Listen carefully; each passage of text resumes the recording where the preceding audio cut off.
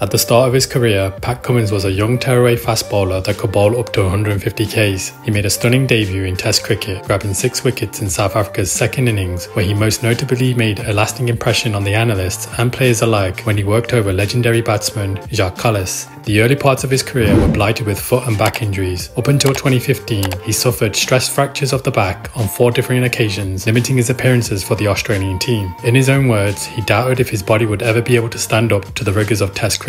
Fast forward to the present, he's the captain and leader of the bowling attack and is the number one Test bowler in the world. Here we'll be looking at the changes to his bowling action. As Pat Cummins loads up, you can see that he used to load up with his right bowling arm being away from the body. In his more recent bowling action, you can see he keeps the ball closer to the body, which will assist in the overall alignment moving straight through the crease. In 2011, Cummins had a much more pronounced high jump that moved in one direction, and as he completes his action, he exerts his body to bend away from the momentum of his jump. In the present, he has a much shorter jump and jumps straighter towards the crease and target, Cummins' current back foot placement is more stable and allows him to maintain a more upright frame as he moves into his action. As he lands on the front foot, his body is already leaning and falling away to the offside in 2011. In his old action, you can see how the alignment of his body is angled away from the target, whereas in the present example, his alignment is much straighter. As he pulls through his action, his head is falling away, while on the right, the theme of alignment and straightness continues with the head position being straighter in his current action.